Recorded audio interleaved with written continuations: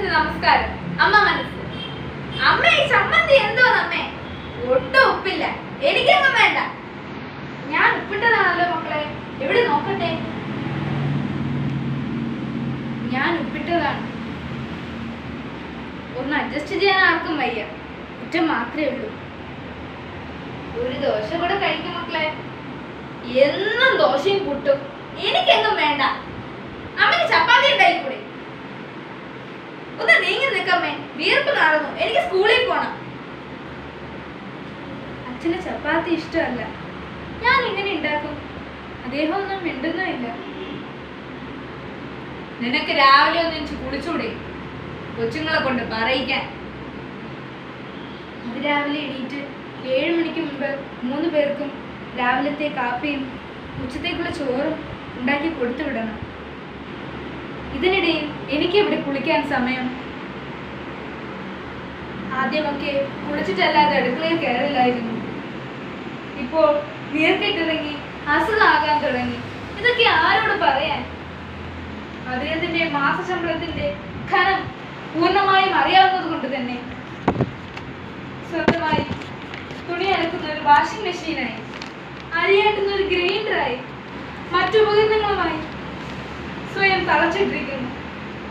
എനിക്കുമുണ്ട് ആഗ്രഹങ്ങൾ.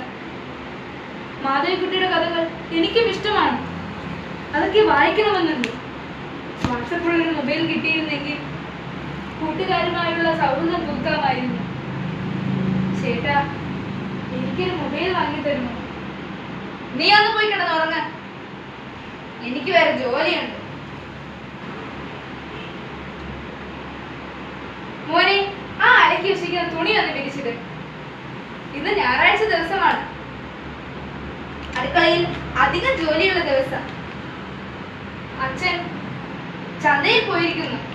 കുറെ ഇറച്ചിയും മീനും വാങ്ങിച്ചുകൊണ്ട് വരും. ഇനി അതൊക്കെ എന്ന് വെച്ച് തീരാൻ? ഒന്ന് പോ അമ്മേ. എന്നെ കൊണ്ടൊന്നും പറ്റൂല. ഞാൻ ഉറങ്ങാൻ പോകുന്നു. ഈ ഇറച്ചിയും മീനുമെല്ലാം അതുപോലെ ഇരിക്കുന്നല്ലോ. ഇവിടുത്തെ മണി രണ്ടായല്ലോ. ഇനി ഇവിടുത്തെവിടെ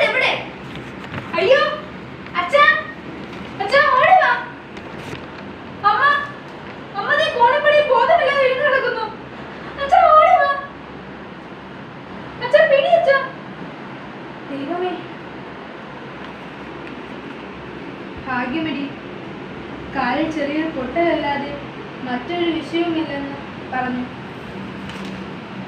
നിനക്ക് പൂർണമായ റെസ്റ്റ് വേണമെന്നാണ് പറഞ്ഞിരിക്കുന്നത്. നീ കട്ടിൽ തന്നെ കിടന്നോളൂ.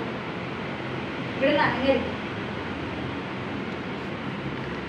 അയ്യോ ഞാനില്ലാത്തപ്പോൾ ഉപ്പില്ലാത്ത കഞ്ഞിയും കൈപ്പുള്ള ചമ്മന്തിയും കഴിക്കുന്നു. എനിക്ക് സങ്കടം വരുന്നു.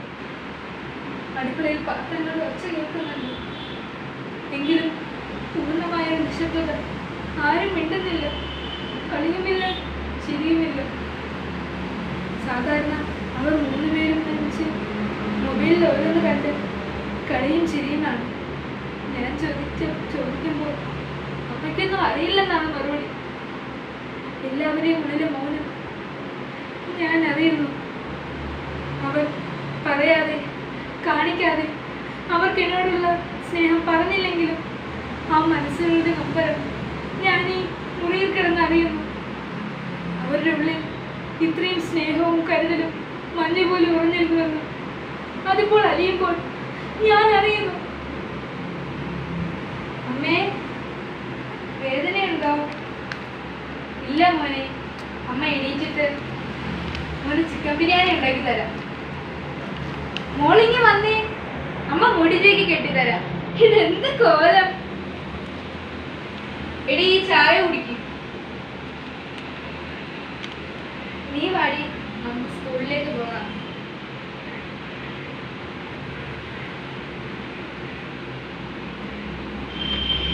ഇവിടെ ഇരുന്ന് അരിഞ്ഞു തരാൻ പറ്റുന്ന പച്ചക്കറി ഒക്കെ ഇനി കൊണ്ടുവന്നേ. ഞാൻ അരിഞ്ഞു തരാം. അതൊന്നും വേണ്ടടി കന്നീറ്റ നല്ല നല്ല അമ്മയുടെ നിരസാന്നിധ്യമില്ലാത്ത വീട് ഭ്രാന്ത് പിടിപ്പിക്കും. അമ്മ ചെയ്തിരുന്നതൊക്കെയും ആയിരം കൈകൾ കൊണ്ടായിരുന്നു. ഇപ്പോൾ വീണ് കിടക്കുമ്പോൾ അനാഥരെ പോലെ ഞങ്ങൾ വീണ് കിടക്കുമ്പോഴാണല്ലോ ആ ശൂന്യത അറിയുന്നത്. അമ്മയ്ക്കല്ലാതെ മറ്റാർക്കും നിറയ്ക്കാനാവാത്ത ആ ശൂന്യത. ഈ കാലഘട്ടത്തിൽ സ്ത്രീധനത്തിനായി കൊല്ലുന്ന ഓരോ സ്ത്രീയും ഭാവിയിലെ ആ ശൂന്യത നിറയ്ക്കേണ്ട അമ്മമാരാണ്. നന്ദി നമസ്കാരം.